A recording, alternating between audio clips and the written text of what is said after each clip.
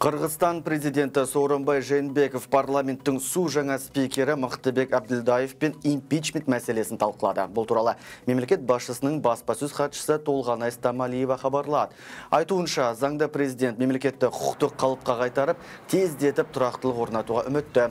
Жээнбеков жоғарғы кеңеш спикерін келісімге келуге шақырды. Президент тіпті кадрлық өзгерістер туралы жарлыққа қол қоюға дайын екенін білдіріпті.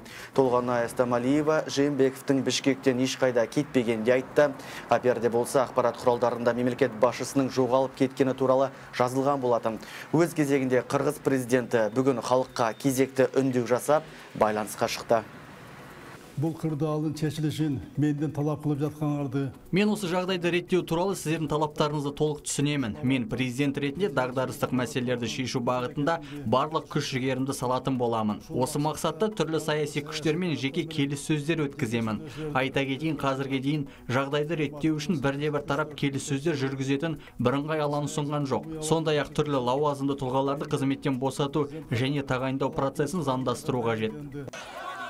Ал бұл уақытта халықтық үйлестіру кеңесі премьер-министрдің міндетін атқаратын кандидаттарды анықтады. Парламент депутаты Эльвира Сурабалдиева негізгі төрт үміткердің таңдалған хабарлады.